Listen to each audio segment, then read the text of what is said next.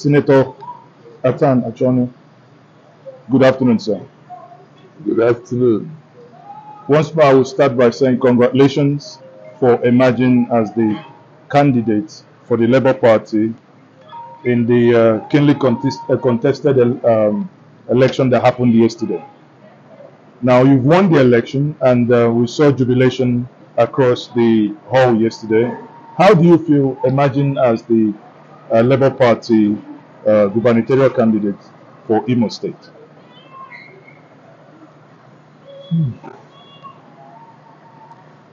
I feel I feel great. I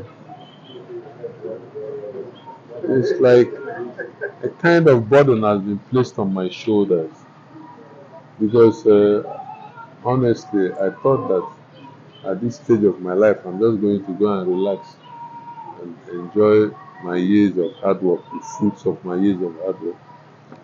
But as it, as, as it is now, there is a need for somebody to come and clean up all the mess that have been made in this state. We have been very, very unfortunate. And we have had bad governance for years. No development, nothing. Every every four years, it gets worse. Every other four years, it gets worse. And, you know, so and uh, we've been looking at it, you know, standing by helplessly. So well, I was motivated actually to now get up and do something about it. You know, I've been preaching this Akurulo over the years. Uh, if you go to every senatorial zone in the entire southeast, you see my billboards asking Igbos to come home and invest so we can develop this place. So I think this is an opportunity for me to put that into practice to create the enabling environment for them to now come home. Because that is what they have been complaining about that the governors don't want to encourage them to come home and invest. That they are always fighting uh, uh, businessmen who want to come and invest thinking that maybe they are looking at investment uh, uh, from a political point of view that maybe you are going to use it to create jobs and become more powerful than it's just because they don't do they don't create jobs. They don't bring development. So when you now come as an investor to want to come and put put down a factory or an industry or anything here they will say ah maybe this man if he creates all these uh, uh, uh, uh, um, uh, job opportunities that he will become more popular than them. Maybe he's coming to run for governor you understand Yes. so that has really stopped the inflow of investment into the entire southeast. So, but especially Imo State, you know. So, I, I think I'm going to help a lot in that regard.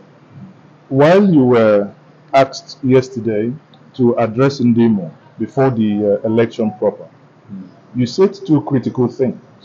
One, you beckoned on other contestants to step down for you. Secondly, you said that you are the greatest investor amongst all the contestants there. Now, for those who do not know, what are those investments that you have within the Southeast in order to make that assertion? If I right now, they, that, that, and that is that is the crux of the matter actually, because uh, all the investments that I have tried to bring, I've only succeeded in one, the one in my village. That one is hidden in my village. That's why they didn't attack it. Because the first one I brought was this hotel, 10 story building in Owerri here. I wanted to bring Rad, uh, Radisson into Owerri. And then I also, uh, at the same time, I was going to go to Oguta. I was going, trying to, there was this proposal I gave to Ohakim when he was a commissioner. Uh, I think it was during um, Enwerem, Enwerem's uh, regime to develop turn it- uh, into a tourist destination for uh, like there was this competition I want to bring a boating competition I, I want to I wanted to bring and build hotel resorts there, you know, to attract people. And I also wanted to bring Disney into that area because I had a lot of land around that island, you know. So, so you know, and now, and then it didn't work. So when Ohakim became governor, he now started talking about tourism, focusing on Oguta as well. So I latched onto it. I said, okay, let me support him.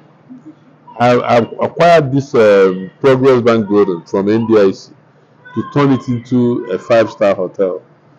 Then I made a bid for the 60% owned by Nzemadu Ako, 60% of Imo Hotel, because they they have a common fence, so that I can expand into it, build um, a, a mega mall and a conference center, you know, international conference center and a mega mall, plus that hotel to support his proposal to turn Imo into a tourist destination.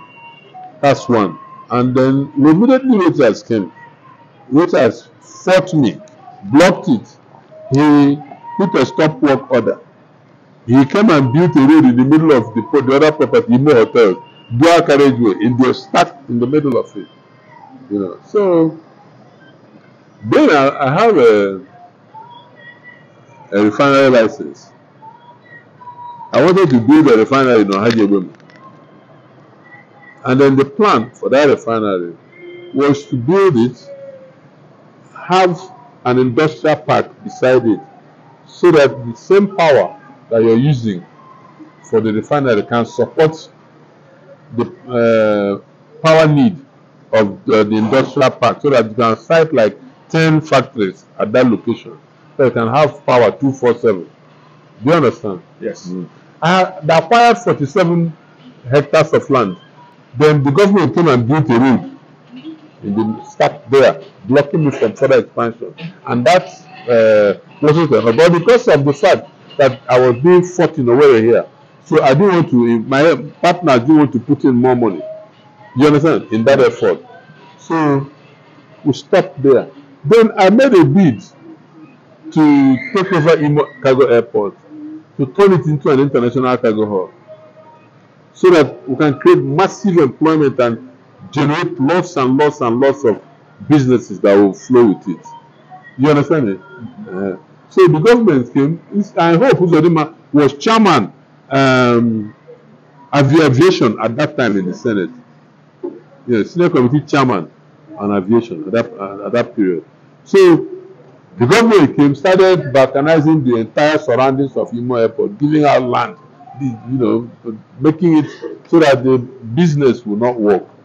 But it didn't deter me. What deterred me actually was the fact that the government was fighting me. So I can't risk, you know, borrowing money to come and invest in a hostile environment. Do you understand? Sure. Uh-huh. So, but luckily for me, immediately Emeki Hedion came. Emeki Hedion wrote a letter of apology. You know, I won all the conflicts against government. They are not obeying court orders. So immediately Emeki Hedion came. Emeki Hedion wrote a letter of apology to me uh, regarding the uh, stoppage of work at my hotel, Protea Hotel. So he now encouraged me to now want to bring in further investment. That's how I decided to invest in uh, the biggest fish uh, farm in, in, in fact in, in Nigeria. I don't want to say in Africa, but you know because we have a, a capacity to produce one million catfish every month. So and at that location we have over 200, we have about 260 greenhouses, which we want to even like, expand. We are looking for land now so that our target is a thousand greenhouses so that we'll be able to supply the entire southern Nigeria with tomato, green pepper, you know, bell peppers and other vegetables. You know, there we have a cattle stockade for 5,000 cattle. So we're going to create a lot of a lot of employment and generate a lot of other support businesses. You know, that will You know, I'm, I'm, I'm trying to stay on the part of when you made the assertion that you are the, you know, the greatest That's- investment amongst them all. That's what I'm explaining. Yes. Yes, in Imo State. I In mean, Imo State. Yes. Well, if I just oppose that statement Mm. with um, someone like uh, the, I think the Abasa farm boasts of about 5.8 million catfish sitting on a 2.4 kilometer uh, unearthed ground.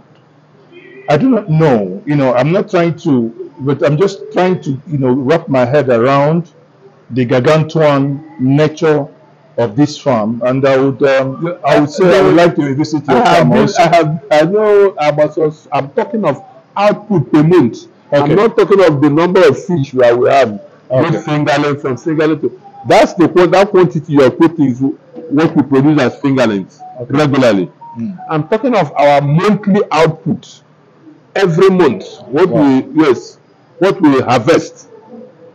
One million. Yes, Wow. every month. Yes, and we're going to increase it to two million actually. The- yes. Mm.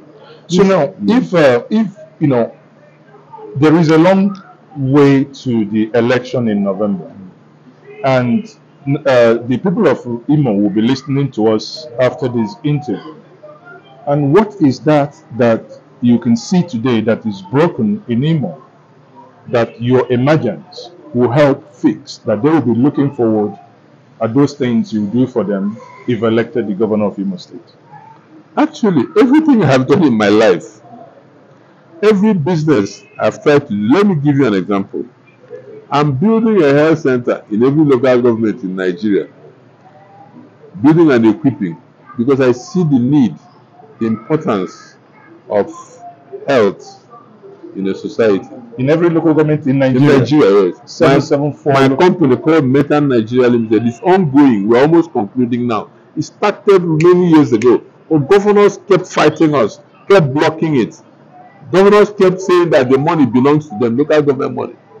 They, you know, this, most governors see it as their pocket money. For example, in Imo State, they have not conducted any local government election uh, up to date.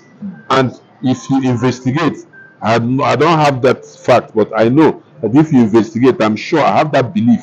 If you investigate, you see that they are not releasing any the local government monies to the local government to you understand me to use for uh, projects in local government areas.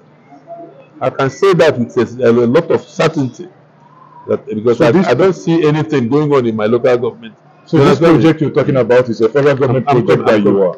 I'm, trying to explain to answer your question. Okay. You said what difference will I make? You asked a particular question. So I'm, I'm trying to tell you that everything I've done in my life hmm, lends credence to the fact that I'm development oriented. That's why I'm giving you that example. Okay? And right now, we have almost concluded that of Imo State. That's as a private citizen. These are ideas I bring to government. I generate these ideas, present to government, and they approve and we implement. Okay, now, like I gave you the other ideas about the airport. That's why I was giving you those ideas. I gave you the idea about the final. So job creation is one of the most basic ingredients that can aid in stoppage, stoppage of insecurity. And I have been championing local government autonomy, political and financial autonomy over the years since Obasa, when Dr. Obasanjo left. I started championing it when local governors started fighting local governments over Mayor Health Center. Can you imagine? And this health center was going to take one year to build, and it was just going to take deduction from the accounts of local government for just one year. Can you imagine what local governments would have achieved by now since they have the capacity to build that thing from their their allocation? But because these men have, have been pocketing these monies over the years, that's why you have insecurity. Because there's no activity at the local government level. So why am I why was I have I been championing this autonomy? If you had can, elected councillors in all the local governments in in in, in, a- in a state, for example, huh? have elected councillors. Hmm? Where will the criminals hide? These councillors will know everybody who live in their ward. Are you following me? Uh-huh. So when you have once you have effective local government system, you have security. Are you following me? Uh-huh. So and then these were councillors also will be getting some projects for their various wards. So money will be flowing everywhere. And if you look at my billboards, my Kururo billboards, you see how I've been advocating that communities should um, form vigilante groups with their town unions.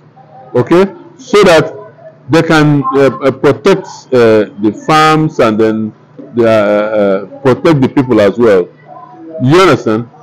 So when you now have autonomy of local governments, these things will be put into practice. So see, everything I have done eh, are things or everything are all my proposals to towards uh, this uh, uh, implementation of my Akurulo are things that governors are supposed to be doing. If you look at one of the messages, I said that the southeast governors can build a, an interconnecting rail line south in the for, that will connect us to the south south since we have been abandoned by the federal government and they should do such things you understand these things will, will, will, improve commerce. so basically from what you're saying you have Mm. the view that uh, one of the reasons why in the last elections the sort you know comments that were made in lagos for instance happened as a result of us not really thinking ahead of time Yes, no, so let me tell you why the Igbo man is frustrated out of his domain. Do you know why? Okay, it's only in the southeast and south south that if you go every one kilometer, you see police checkpoints. Hmm? They are treating us like a conquered territory, and the governors are not resisting it. Every one kilometer, you see custom checkpoint. You can't see that in the southwest. You can't see that anywhere in the north at all. They, they, don't, they don't exist. And all the smuggling is done in the north. Meanwhile, you will not see custom checkpoints there. They are done across border. The, the, the, the mo- mo- most smuggling activities are done across all the land borders. And the southeast doesn't have any land border except the one in uh, south south in Calabar or somewhere there. Are you following me? Ah. So, but they don't question it. Okay, look at you have a place like Borno where you have all these terror, terrorist activities. You have Zamfara. You don't see all these checkpoints. But here, where the, for the last 20 years, the, this thing has become so controversial. You understand me? Every time will be people, businessmen will be crying. Drivers association will be crying. Nothing is done about it. The governors don't do anything about it. Do you understand me? And so that was the driving away our traders. So that because they, they, they, they have it easier in Lagos, in Kano, in Abuja. Are you following me? Uh, so these are the things that we need to do to bring them back home. You know? Thank you very much for that Yes. uh, elucidation. Um, yesterday, I, I read reports that there were, after the convention here, that there was another convention also. Are you perturbed by any chance if there were any sort of uh, con- uh, convention that happened, a parallel one? No, I mean, it goes to show that it goes to show the popularity of um, the Labour Party. You understand me? And the viability of Labour Party's opportunity to take over power in Imo State. So all we need to do is to bring everybody back together. We are a family. Labour is one family. If there are misunderstandings, we will resolve it. You understand? Uh, and then take it from there. So what you're saying in essence, you would, if there is any such, you would go out of your way to ensure that No, it's not out of my way. As a, as a, as the candidate of the Labour Party now, it's my duty to bring all my colleagues together. We are we members who are members of the same party, Labour Party. If there were any misunderstandings in the past, it's my duty now to resolve such issues so that we can forge ahead.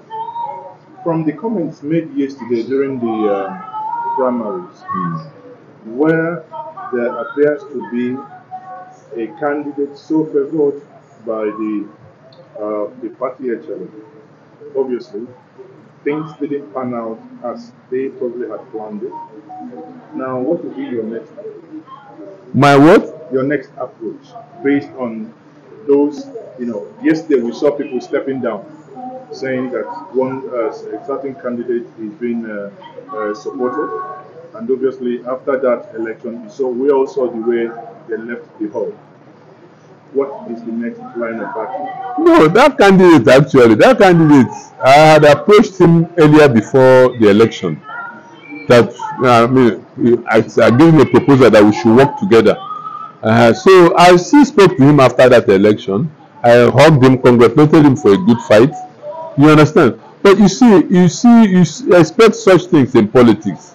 You know, uh, you can you expect gang ups and all that. I mean, we are, this is Nigeria. People have vested interest in some people for one reason or the other. Do you understand me? And maybe people are, uh, and that is not one mistake that a lot of politicians make. They want to uh, uh, support somebody they think they can control. You can't control anybody with power. It has never happened anywhere on earth. Even your son, you give your son power, you can't control him. So that is a very big mistake people make. And every time they get disappointed, they shoot themselves in the foot. So I, I was, I just like, you know, I took it in my stride. Do you understand? I, I, I see that as a human failing. All those, you know, uh, plans to do this, do that, you know, so. In, in Imo State, you know that the security is a great challenge. Yes.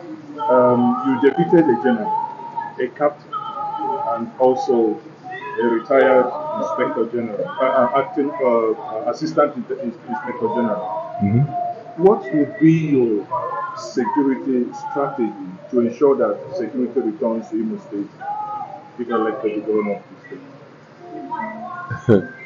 you know, in the